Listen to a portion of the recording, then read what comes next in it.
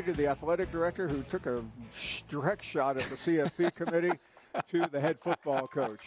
And uh, Brooks Austin and Mike Griffith joins us, join us right now. Brooks, great to see you. Mike, we talk to you every week, so we know how we, we know what he looks like. Yeah, I love that, Mike. They were like, we talked to the president, we talked to Kirby, now we're going to talk to Mike and Brooks. I like it. Yeah. I mean, we.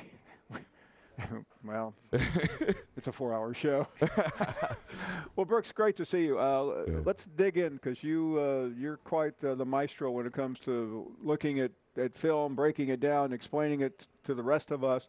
What do you see when you see this game tomorrow? I see two offenses that are kind of struggling in very different minds, right? Or very different instances. Like Te- Tennessee, for example, they're really having a problem driving the ball down the field, certainly not having a problem running the football. I've been actually really impressed with the way Josh Heupel has kind of morphed his offensive system, playing a lot more two tight ends, Paul, really kind of condensing formations when historically Heupel's been a wide spread guy. He wants to spread you out the full 53 and a half and, and really throw the ball down the field, but they've struggled to do that. Obviously, on the other side of the football, Georgia's kind of struggled in various different areas throughout the season. Last week it was the offensive line. Weeks prob- or prior it's been the wide receivers and and maybe mix a, a couple of bad performances in there from Carson Beck as well. So very up and down performance from Georgia offensively. Tennessee's kind of struggled with the same thing all year. We got to get you on the college football playoff committee. You picked apart Georgia pretty. You know they played some pretty good teams, Brooks. That They had a little bit to do with it, right? They did. Schedule schedule certainly tough, man. And I, you want to talk about college football playoff, man? I, I'm wondering, and Paul, maybe you can uh, allude to this a little bit. Are they looking for the 12 best teams, or are they looking for the 12 most deserving? Because if they're doing the 12 best thing, man, you're gonna have a lot of SEC teams in that thing. Yeah, no, uh, this this committee is like you know the, some. You go down to the Rotary Club and it's like the the the the speakers committee. I mean, these these are. I don't want to insult them individually, although I will uh, in a couple of weeks. But I am shocked by what we saw. Well, wait a minute, wait a minute. You're, you're talking about the, you know, the executive chairman there, Warde Manuel from the University of Michigan, and you're surprised Yeah. that four of the top five teams are from the Big Ten. I'm not I mean, is this any really a shock? This is the conference that changed their rules halfway through the season, the COVID year, to get Ohio State in the playoff. You realize that, right? The old Griff has returned. I'm just saying. I love mean, this. Let's let's keep it real here. I mean, let's call it like it is. I mean, you're, if you're trying to tell me that the Big Ten is four of the top five teams in college football, then you have missed the college football playoffs the last 10 years. By the way, four of the last five national champions came out of this group of 14 SEC teams, none of which are ranked in the top, are ranked in the top six, and 10 of the 20 college football championship game participants were from that 14 team group, none of which are ranked in the top six. Now I realize it's season to season, Brooks, Yeah. but it's not like the SEC has dropped off a cliff. We're talking 19 years in a row they've produced the most draft picks. So does this parity not mean anything to this committee? And, and not only that, like strength of schedule is a major thing, right? Like Georgia has played two really difficult football, or three really different fo- uh, difficult football He should have known we were going to take the over road. the I show. mean, this is why you don't have us on together. We'll just take it over. You can take the rest of the night off. We're good. Listen, you I'm- pitted I'm- two bulldogs right next to each other. I'm, I'm going to go talk to some folks in the audience here. But no, I mean it's it's a uh, like I said, if you're deciding on who the best teams is, I think that's very subjective or objective, whatever which word I'm looking for there. But you know, it's opinionated, right? Whereas if you say these are the qualifications for most deserving, then it's a lot easier to to come out here and say who you think's the most deserving based off whatever metric you create. Let's try to get Paul Finebaum back on the set on his show. Come on back, Paul. Well, no, listen, I, uh, I am taking notes because I've, I've been on some shows this week and I, I was kind of re- regurg- You've been pretty outspoken. You've Yeah. been you've been kind of a gatekeeper here. They bring you on these big national out of New York where they only pay attention to college football one day a week, and you have to set them straight. I appreciate that. Well, First my take ought to favorite line of the week. Uh, I was on Wednesday with uh, Stephen A. and and that great college football aficionado Chris Mad Dog Russo. Oh yeah. But Russo had something that I mean, we're talking about the same subject, and I'm going through Indiana's schedule of Florida International and Western Illinois and Charlotte, uh, and he he just without being prompted said, you know what, uh, S- uh, South Carolina could win the Big Ten, and I said, this guy's smarter than I thought. Right. Uh, I mean, that was that, that was from the from the top rope. So I'm glad to hear you guys. guiding it, guiding it back on Georgia, where, Yeah. where Paul started this before we kind of took it off the rails there. Sorry, Paul. I think Carson Beck has taken a lot of. Why am I here? I A mean, is, there some, is there some? I mean, it's 40 A degrees outside. I could be, Brooks, I could be back Sure, out yeah, having a bourbon at the hotel, and I'm sitting there listening. Uh, go ahead. Well, I'm, I'm, just I'm giving you some insight into Carson Beck. I mean, this I is a know. guy that kind of blew himself up on uh, social media with an NIL and kind of created this perception that I am who you think I am. I'm the nation's leading returning passer. I'm the number one Heisman candidate. And somewhere along the line, people started dropping passes. The offensive line fell apart, and Carson Beck found out he should have already known he's only as good as his supporting cast. And I think he's actually played pretty decent the last two games. I mean, he's a. I think a- he's a played great. He's a decision-making quarterback, right? He was stunning. I was in Oxford Let's last not get weekend. carried I know away. you guys I'm were trying too. to make a point here. The- No, it, it wasn't on did, that. Where ga- did he play well it. last week? Mike's got a really good point, Paul. Thanks, I mean, Brooks. he he is a, a, a byproduct of the people. I people must have around gone to the wrong stadium.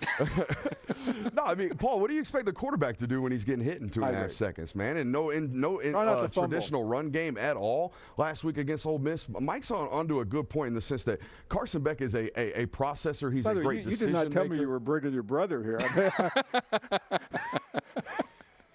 Uh, anyways, uh, but no, he's, he's a byproduct of the people around him. When you when you got a quarterback in there that's always prompt to make the right decision, if we don't give him good decisions around him, Right. he's not going to have a lot of success.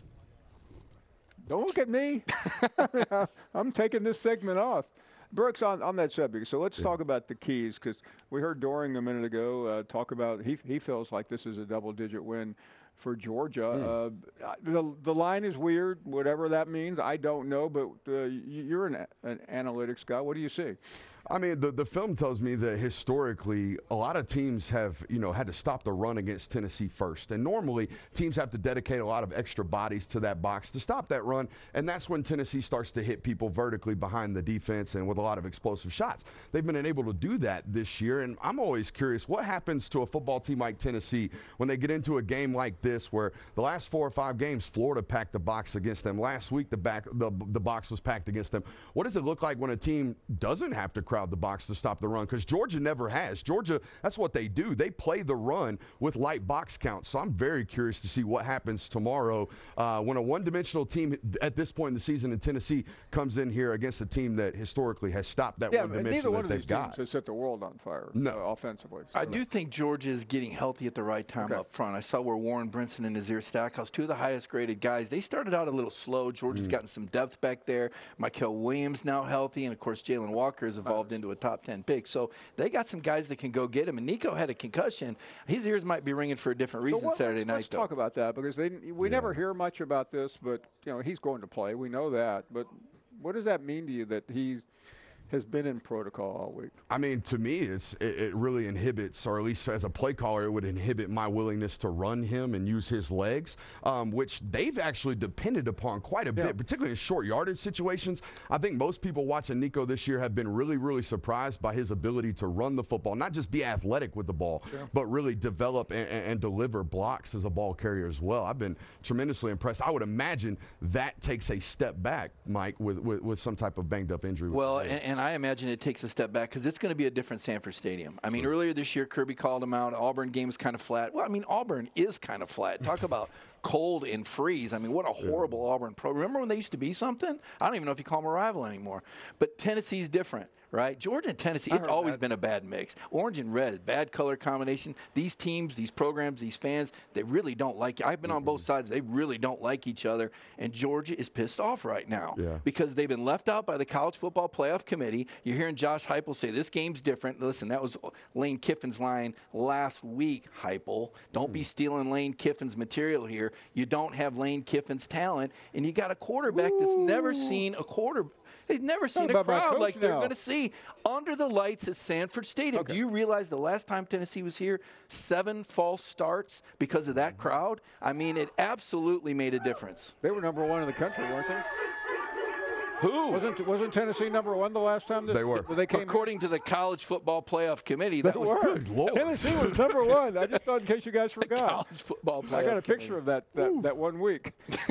That's right. We got a Tennessee alum here. We got to be careful. That, that is true. Well, uh, apparently he didn't get a degree from there. He just ran the student newspaper. So says Ryan McGee. Well, uh, wow. I, I don't have a, a, a journalism degree. I, do, Oh. I do have a degree from the university. Don't tell anybody, Paul. Neither do I. Yeah, A but- journalism degree. Oh, I have a degree in physics. Yeah. Oh, Are you serious? No, but. I thought it would sound good. it was pretty good. You had me biting on that one. I'd rather not admit what I have a degree in. It, uh, Political ba- science. basket weaving. Yeah. Political science. That's my yeah, guess. that, that's correct. Okay. I've done a lot with that political science degree. Yeah, look at me. You know how to play to the crowd. Yeah. I'd vote for you, Paul. No, well, did you see, did you see that Finebaum Griffith in 28? Oh, I like it. Oh, wow. oh, William Perry's here. Hey, he's not burying me on the cocktail party. Keep that sign up. I'm finally on board with that thing, by the way. I like that. They're building a stadium. Are you? Uh, I I think we could. Uh, Politics? yeah. Oh, yeah. Yeah, that'd go. By the that'd way, we real both, well. we both live in swing states. Is this Very, my, very important. my turn to walk off the set? Yeah, while you no, two I mean, get on to your into your uh, congressional campaign. W- listen, Brooks. Uh, I really appreciate you coming by. This, no uh, we, doubt. I don't know why we don't do this more often. Oh, me and Mike. This is the first time we've ever worked together. Believe it or not. Amazing. Did Yeah, we, we will we will do this again, and with, certainly with you. I don't know about Mike, but uh, we're going to come back and talk to Mike about some things around the SEC. Uh, let's hear it from Brooks.